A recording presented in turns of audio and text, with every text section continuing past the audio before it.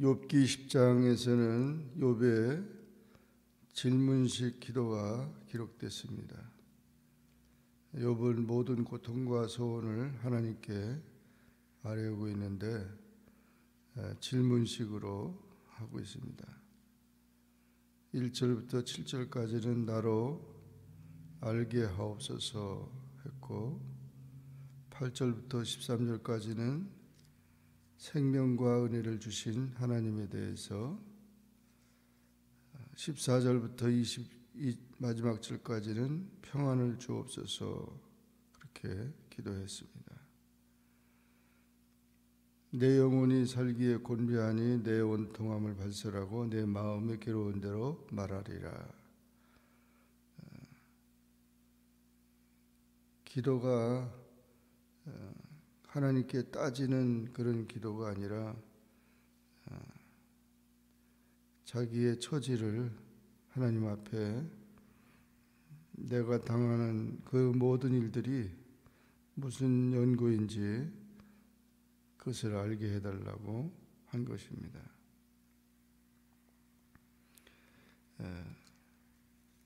무슨 연고로 나로 더불어 쟁변하시는지 나로 알게 하옵소서. 주의 손으로 지은 것을 학대하시고 멸시하시고 그렇게 하시겠습니까? 주의 눈은 육신의 눈이 아니고 주의 날은 인생의 날이 아닌데 나의 허물을 찾으시며 나의 죄를 사실하십니까? 주께서는 내가 약하지 악하지 않은 줄을 아시나이다. 아, 그래서 이렇게 흙으로 지은 인생을 티끌로 보내려 하십니까? 아, 가죽과 살로 내게 입히시며 뼈와 심줄로 나를 뭉치시고 생명과 아, 은혜를 내게 주셨다고 하면서 고통을 주시되 죽음을 허락하지 않으시는 하나님에 대해서 고난의 이유를 어, 질문하는 그런 나로 어, 알게 하옵소서. 그래서 자기 성찰에 대한 그런 음, 질문의 기도를 드리고 있습니다. 하루살이 같은 인생을 어, 이렇게 단련하려고 고난, 고난을 주시는 것인데 자기가 당한 그런 고난에 대해서 알게 해달라는 것입니다. 그리고 8절 이하에서는 어, 이렇게 생명과 의리를 주신 하나님, 어, 생명과 은혜를 내게 주시고 권고하심으로 내 영을 지키셨나이다. 그래서 주의 뜻이 있는 줄로 어, 안다는 것입니다.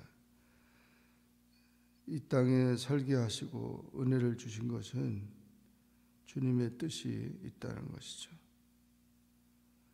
그리고 14절 어, 이하에서는 평안을 주옵소서 하고 기도하고 있습니다. 음, 내가 범죄해서 죄인으로 인정되면 내 죄악을 사유치 아니하시겠습니까? 내가 악하면 화가 있을 것이고 어, 내가 머리를 높이 들면 나를 사냥하실 것이고 그래서 어, 이와 같이 에, 있어도 없던 것 같이 바로 무덤으로 옮겼을 것입니다. 그러므로 어, 평안하게 하옵소서. 이 죽음의 땅에서 어, 흑암의 광명도 없는 그 땅에서 평안함을 달라고 그렇게 기도하고 있습니다. 우리의 삶의 형태가 어떻게 주어졌든지 우리는 하나님께 감사하는 삶을 통해서 하나님께 영광을 돌려야 하고 신앙생활은 인내하는 생활입니다. 하나님은 중심을 보시고 어, 있기 때문에 하나님을 끝까지 신뢰하고 어, 하나님의 전지하심과 무소불능을 우리가 인정하고 어, 연약한 인생이 하나님 앞에서 주의 뜻을 분별하는 그런 지혜를 가지고 살아가야 된다는 것을 고백하는 기도가 되겠습니다. 우리의 삶도 항상 하나님의 뜻을 묻고 하나님이 주신 생명과 은혜와 또 평안을 찾아가는 그런 인생이 되기를 주의 이름으로 축원합니다. 기도하겠습니다. 사랑해 주님 감사합니다. 오늘도 주님 앞에 나와 기도하게 하시고 주의 말씀을 상고하게 하시니 감사합니다.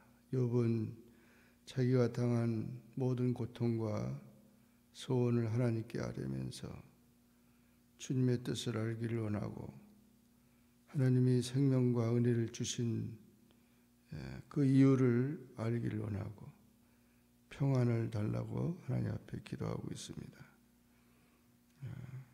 주님의 은혜 안에서 살아가는 우리 인생들이 하나님의 섭리 아래서